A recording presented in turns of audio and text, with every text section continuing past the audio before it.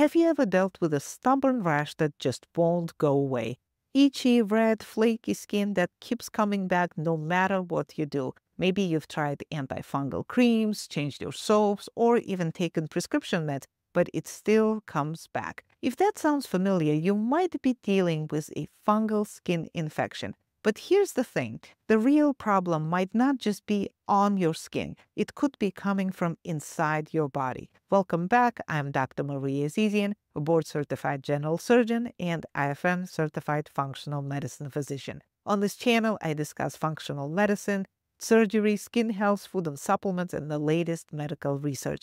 And if that sounds good, please like, share with your friends, and subscribe.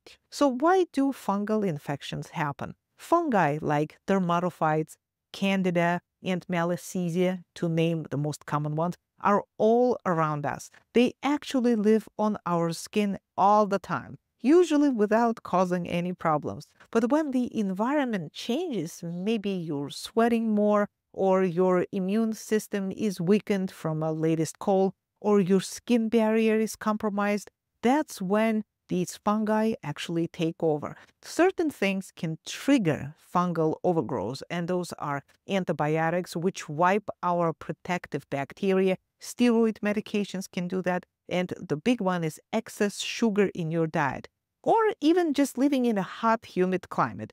Now, where do these infections usually show up? Well, fungi love warm, moist areas. That's why athlete's foot is so common in people who wear tight shoes or go to the gym a lot. Jock itch is another one affecting the groin area in people who sweat a lot or wear tight clothing. Fungal nail infections happen when fungi get trapped under the nails, making them thick, yellow, and brittle. And some scalp infections actually can lead to hair loss. And then there's also seborrheic dermatitis, which is linked to a type of yeast that naturally lives on our skin. It's called malassezia. And this is what causes dandruff and those flaky patches on face and sometimes chest. So now, who is at most risk? Well, let's look at this in more detail. If you have a weakened immune system, whether from diabetes, autoimmune disease, chronic stress, or even just poor gut health, you're more likely to get a fungal infection. People who sweat a lot, like athletes and gym goers, are at risk, of course. And if you've taken a lot of antibiotics or steroids, you could be more prone to fungal overgrowth.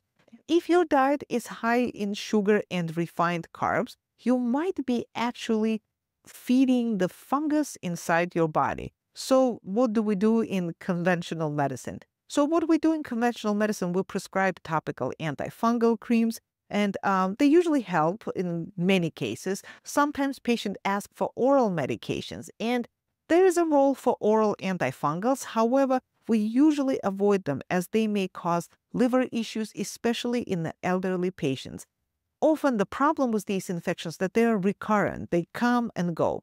And that brings us to functional medicine perspective mm. because fungal infections aren't just about what's happening on the skin.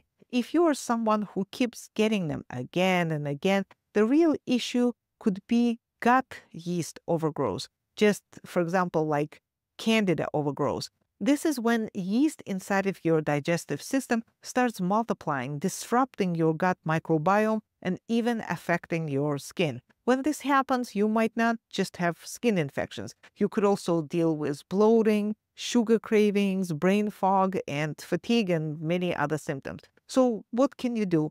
First, you need to balance the gut. That means cutting down on sugar and processed carbs because, again, yeast thrives on sugar adding in probiotic rich foods, and restoring healthy bacteria.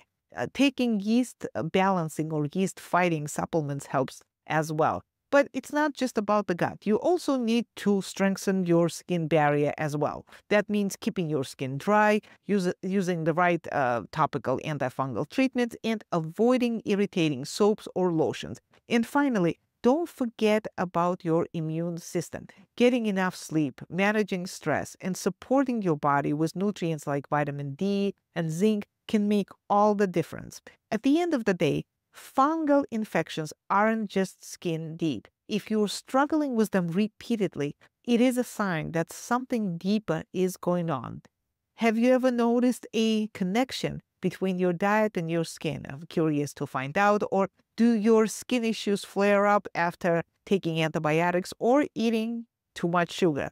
If so, please share your thoughts in the comments. I'm looking forward to hearing from you. Thank you so much for watching. Until next time, bye bye.